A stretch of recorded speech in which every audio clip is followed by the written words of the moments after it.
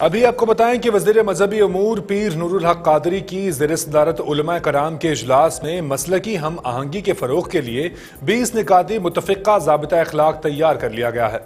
वज़ीर मजहबी अमूर पीर नूरुल हक कादरी के जेर सदारत कराम के अजलास का इनका हुआ, जिसमें बीस निकाती मुतफ़ा जबता अखलाक पर तमाम मसालिक से ताल्लुक रखने वाले कराम के दस्तखत मौजूद हैं। इजलास में चेयरमैन इस्लामी नजरियाती काउंसिल के बिला अयाज, मुफ्ती तकी उस्मानी, मुफ्ती मुनीबुररहमान, प्रोफेसर साजिद मीर, मौलाना मोहम्मद हनीफ जलंधरी, डॉक्टर रागिब नईमी समेत दिगर मजहबी शख्सियात ने शिरकत की। मुतफ़ा जबता अखलाक में कहा गया है की तमाम शहरियों का फ़र्ज़ है की पाकिस्तान के दस्तूर को तस्लीम करें। तमाम शहरी रियासत के साथ अपनी वफादारी के हल्फ को निभाएँगे। दस्तूर पाकिस्तान की इस्लामी साख्त और कवानी पाकिस्तान का तहफ़ किया जाए। जबत अखलाक के मुताबिक शहरियों को शरीय के नफाज के लिए पुरम जदोजहद करने का हक है। मुसल्ह कार्रवाई तशद और इंतज़ार की तमाम सूरतें बगावत समझी जाएँगी। इसके अलावा कहा गया है की किसी को हुकूमती मुसल्ह अफवाज और दिगर सिक्योरिटी एहलकारों को काफिर करार देने का हक नहीं है।